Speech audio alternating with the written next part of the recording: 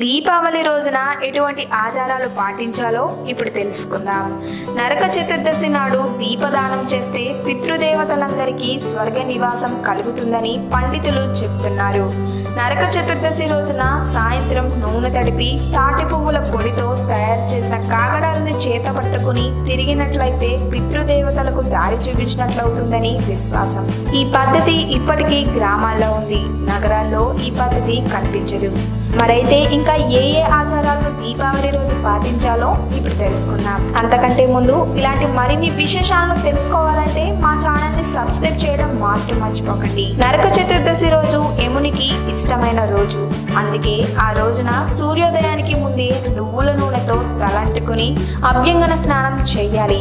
ప్రత్యేకించి ఆ వేళ నువ్వుల నూనెలో లక్ష్మి మంచినీటిలో గంగాదేవి కొలివే ఉంటారని శాస్త్రాలు చెప్తారు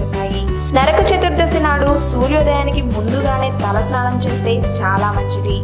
సాయంకాలం ఇంట్లోని దేవుడు మందిరంలోనూ లేదా ఏదైనా దేవాలయంలోనూ దీపారాధన చేయటం శుభప్రదం.